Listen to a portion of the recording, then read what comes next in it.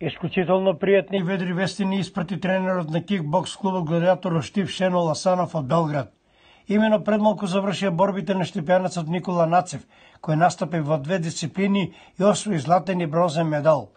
Во дисциплината Point Fight во категорија плюс 94 кг, Никола Нацев во финалето беше поуспешен од домашен српски надпреваровец и се заките со златен медал.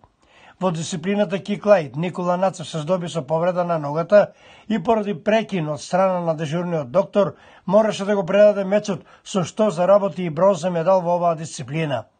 Огромно е задоволството на Никола Нацев за своените трофеи, за кои заслугата припаѓа и на докажаниот тренер Шенол Асанов, кој неуморно работи со своите борци и само пандемијата и ограничениот број на надпреварувачи го спречи да патува за Белград со побројна екипа меѓу кои и прекалениот борец Славче Арсов.